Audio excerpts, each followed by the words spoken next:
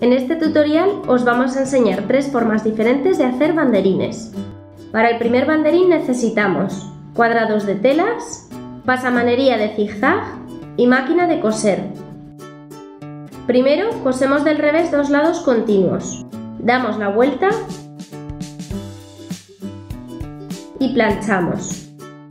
Doblamos el extremo sin coser y por la cara vista cosemos cada banderín al zigzag. Para el segundo banderín necesitamos tela de saco, pasamanería, la plantilla del banderín, las tijeras de zigzag y la máquina de coser. Dibujar en la tela de saco el patrón del banderín y pasar una costura por el dibujo. Recortar alrededor con la tijera de zigzag. Doblar la pasamanería por la mitad, colocar los banderines entre medio doble y pasar una costura a lo largo de la pasamanería. Esta versión además es reversible utilizando muy poca tela. Podemos personalizar los banderines aplicando nuestras iniciales.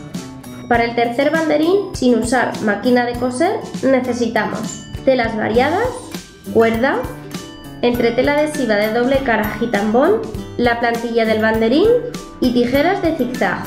Utilizamos un trozo de entretela del tamaño de la plantilla. Planchamos la entretela por el revés de la tela Colocamos papel de horno para no manchar la plancha de pegamento.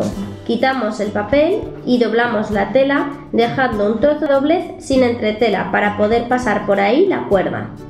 Y planchamos. Dibujamos con marcador borrable la forma del patrón y recortamos con las tijeras de zigzag. Con un clip abierto sujetamos la cuerda y vamos pasándola por el hueco. Así tendremos también otros banderines reversibles sin tener que coser.